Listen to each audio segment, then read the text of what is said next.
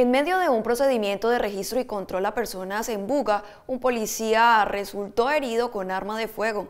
Las autoridades capturaron el presunto agresor, quien fue puesto ante la justicia para que responda por el delito de agresión a servidor público. Tal como se aprecia en este video grabado por un ciudadano desde el interior de su residencia en el barrio La Revolución en Buga, se observa cómo la policía de esa ciudad reduce a dos personas que son requeridas para un registro de antecedentes y uno de ellos se opone al procedimiento. Al parecer los uniformados realizaban los controles cotidianos de seguridad en ese sector, pero uno de ellos escribió un arma de fuego en contra de uno de los uniformados, resultando herido. De acuerdo con el reporte de la policía del primer distrito con sede en Buga, el uniformado resultó herido en medio del forcejeo con el ciudadano, siendo impactado con arma de fuego a la altura del hombro.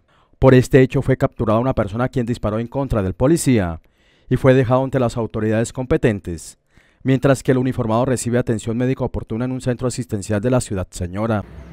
Momento en que la patrulla del cuadrante realizaba actividades de prevención y control, notan a esta persona en actitud sospechosa, el cual inmediatamente observa a los uniformados, emprende la huida. En medio de la persecución, agrede a los policías con arma de fuego, siendo necesario hacer uso del arma de dotación oficial impactándolo en una oportunidad para lograrlo reducir en medio del forcejeo. De esta manera es capturado por el delito de violencia contra servidor público, tentativa de homicidio y porte ilegal de armas de fuego y municiones.